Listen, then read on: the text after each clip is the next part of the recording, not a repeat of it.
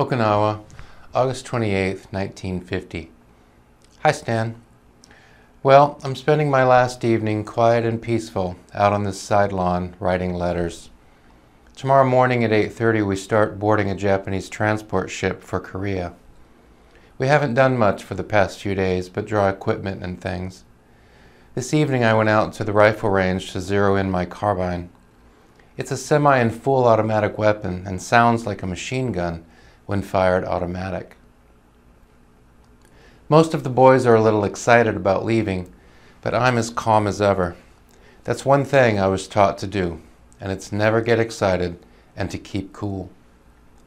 Heard from Bernie, and he said if things don't change over here, the Army is going to be after him. But I hope things do change, but fast. When our mortar platoon gets there, believe me, things are going to change. I guess I have but a one-track mind tonight. All I talked about was based on one thing. Other than that, nothing is of importance to me but Korea.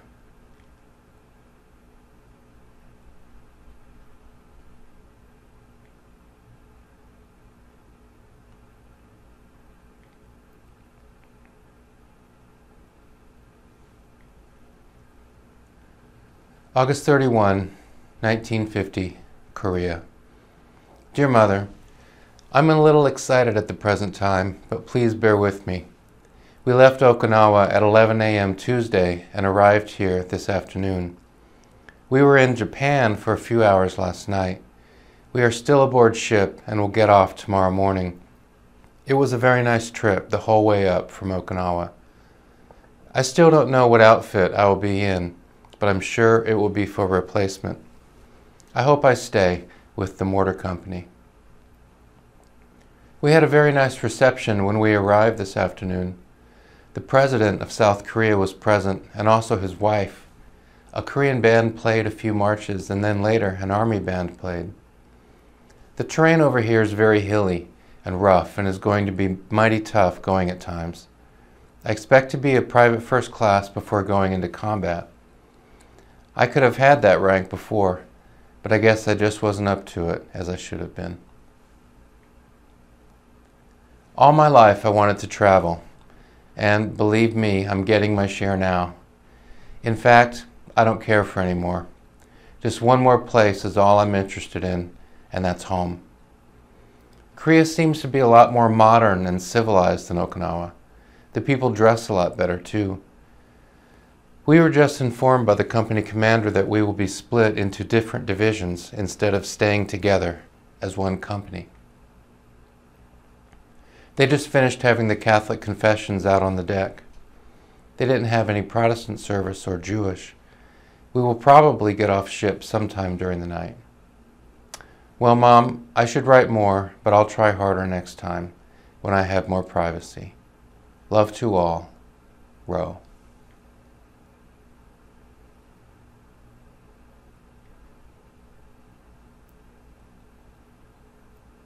September 4th. Dear Mother, I really don't know how to start this letter. But anyway, I just spent two days and nights on the front lines. We had sort of a mix-up with the riflemen. This morning, shells were swarming over my head so fast that I didn't know right from wrong. These North Koreans just keep coming at us and never stop unless by our fire. So this morning we had to withdraw on account we hadn't had enough men to overtake them. I have had many close calls, but with the help of your prayers, the Lord saw me through. But the thing I hate is one has to keep at it until another company relieves them, and that may be for a week or two. I have been doing a lot of praying myself, and I'm trusting you all will especially pray for all the boys here, because it's much rougher than the papers say. Well, folks, I love you all and want you to pray for me while I'm on the front lines, especially. With love, Roland.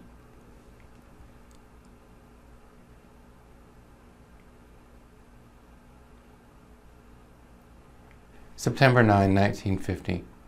Dear Mother, First of all, everything is still going fine with me. I guess you all are pretty anxious to hear from me.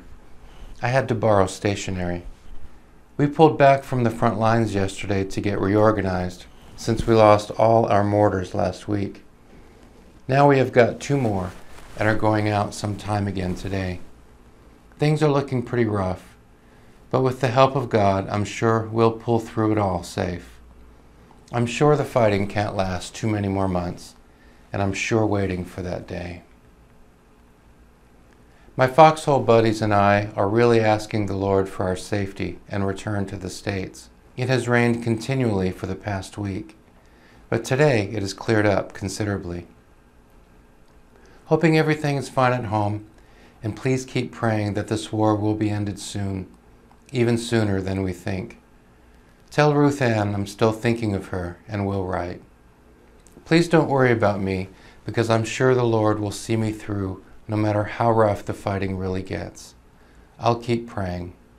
Love to all. Roland.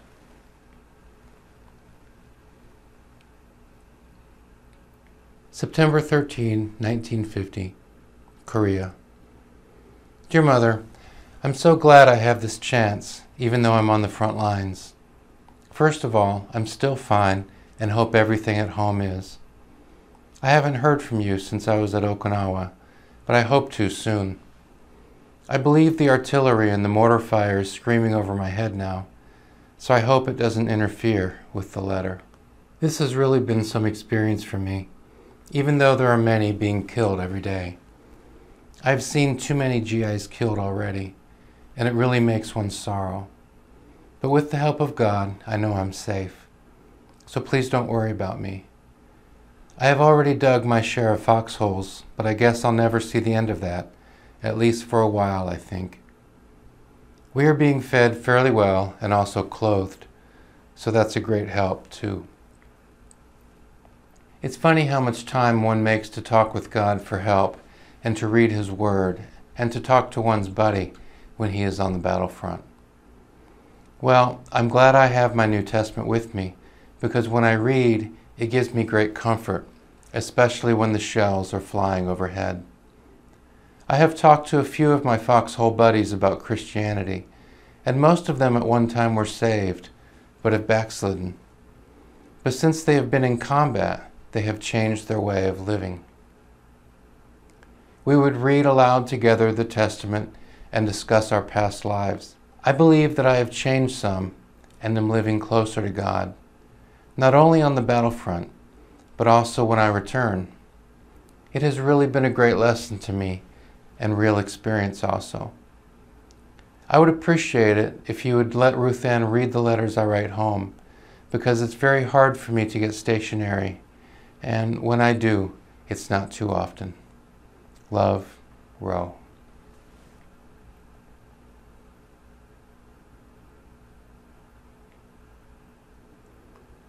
Sunday, September 17, 6:15 p.m. Dear Mother, just thought I'd drop you a few lines while I have the chance. Today started the big push. I think you know what I mean. We had the North Koreans on the run pretty well today. Many of them have already surrendered.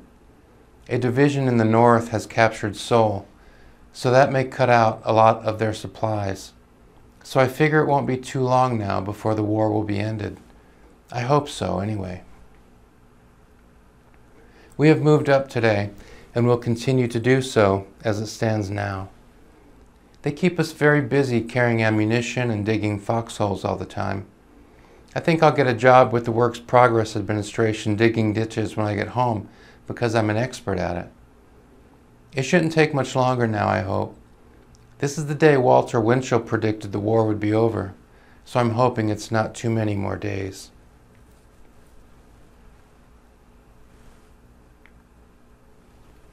September 23, 1950, Korea. Dear Mother and all, it's a beautiful day here in Korea. I wish we would have more of them. I'm still doing fine. I feel so good after bathing and shaving in the creek today. We have advanced a lot in the past week.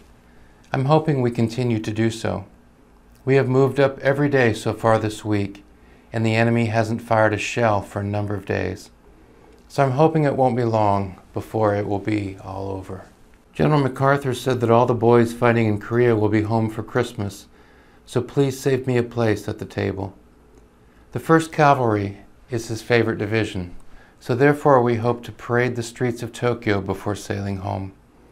Those are the kinds of things these fellows always talk about anymore, what they're going to do after the war. I'm getting pretty tired of these C rations. However, they are good when you're really hungry. It's been almost a month now since I got a letter, but in a way it's a good thing because I think everything is all right anyway. And if not, they would make personal contact with me.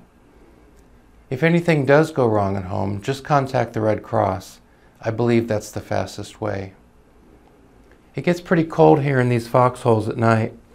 They issued us wool blankets, so that is a help, besides my field jacket too. The nights are long, and the days short. I only wish I could tell you where I'm located, but due to circumstances beyond my control, I am unable to. I'm sure you'll understand. I'm just hoping to be in Seoul within the next week or so. Hope that everything is still fine at home. Keep praying that this war will end soon. I didn't care for the boat ride over, but I'm going to enjoy the ride back. Believe me. Love to all. Roland.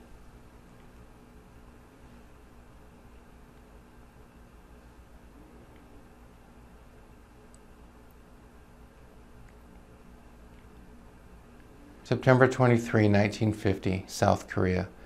Dear Stan, I'm feeling fine this bright, sunshiny day.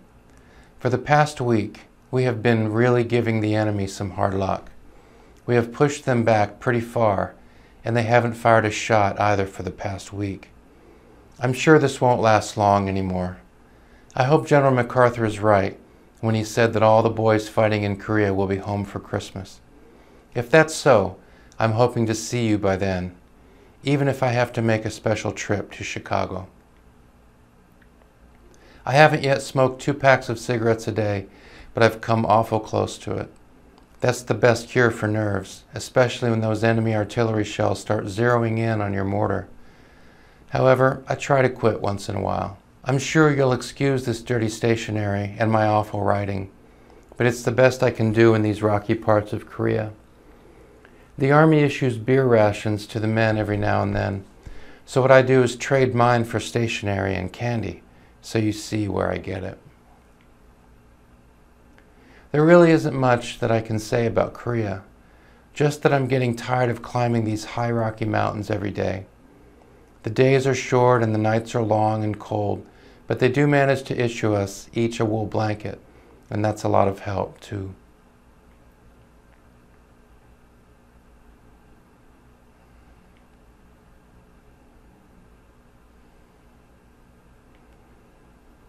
September 30. Dear Mother, it has been quite peaceful for over a week now and haven't even fired one shot. We are also getting much closer to the capital city of Seoul. It has been a whole month now that I was on the front lines and I'm still going strong. I'm hoping and praying that the war will be over before another month goes by. And the way things look, I'm sure it will be. The nights are getting much colder now. Today we were issued our second wool blanket, so now it won't be so bad. We were also issued new clothes. We got a few chickens from the few farmers who are living nearby where we are camping. We cooked up some chicken noodle soup for supper last night, and for supper tonight we got some vegetables and two more chickens. The reason for that is because we are moving so fast northward that our food supplies can't keep up with us, so therefore we make the best of it by eating off the farmers. And to tell the truth, it tastes a lot better too. Bobby Faith said he will no doubt be coming over here soon, but I hope he doesn't. And that goes for anyone. There are a few South Koreans who can read a little English, so I let one read my testament and tried to explain what he was reading. I got great enjoyment out of doing that. I'm starting to pick up some of their language, so that makes it a lot easier for me to get along with them. Your son in Christ, Roland.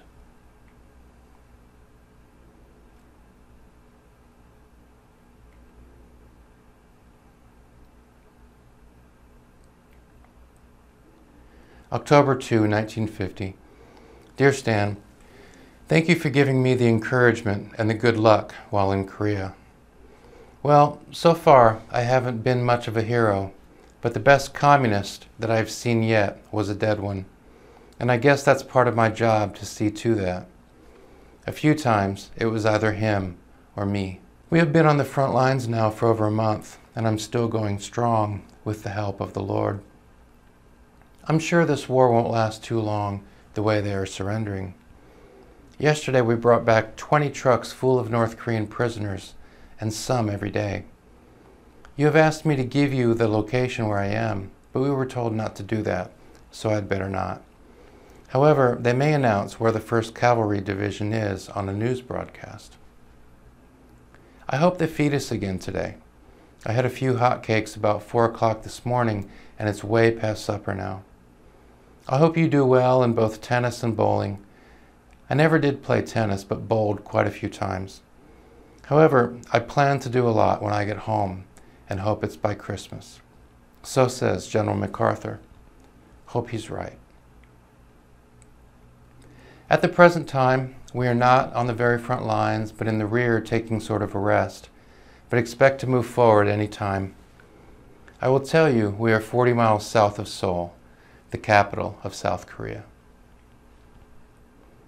Just got back from eating a hot meal, the best ever set in front of my eyes since I've been in Korea. I think perhaps we, the 8th Regiment of the 1st Cavalry Division, are going to be here for a couple days, so we may get three hot meals each day. I'm just hoping, of course. October 3, 1950. Dear Mother, Well, everything is about the same except the war situation seems to be looking better. It's getting much cooler now and looks like rain. However, I'm hoping it doesn't rain. We are to move forward sometime today, so I'm writing this in my spare time. We had chow last night, this morning, and again this noon, but for supper tonight, we start back on C rations. Well, I hope everything is fine at home. Jean told me Marjie was growing very fast and can talk pretty good now. I wish I could see her. Your son in Christ, Roland. P.S. Keep praying for me. Need all your prayers each and every day. I would appreciate it very much if you could send me a small box of self-sealed envelopes and writing papers. 7 October, 50, Korea. Dear Warnie, Today we are going to move up 2,000 yards behind the 38th parallel line. There's a small town up there that we have to take. By the way, I'm 10 miles north of Seoul now and have been here for three days. The fellows seem to think that the 1st Cavalry will return to Tokyo after this is over, so I'm hoping that I go there too, and probably will.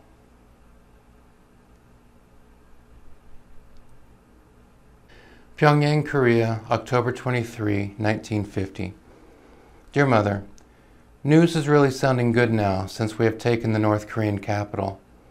We will probably be here for a few more days before going southwest to a seaport city. It may mean the beginning of the end for my life in Korea. Just praying so, anyway. The Capitol building where we are making quarters is a very large and beautiful one. Connected with the Capitol is a huge hospital, somewhat different from even our local hospital. Rooms are made up of all descriptions. Reminds me of a museum in a way. However, there is nothing high class at all about either the Capitol or the hospital. The sun is shining quite bright today, and the 1st Cavalry had their band play a few marches this morning. Sure was nice to hear them play. We had a nice church service yesterday morning, and being that the whole regiment was together, we had a large crowd. The chaplain is the best I've ever heard. He really expresses his love and the blood of Jesus Christ.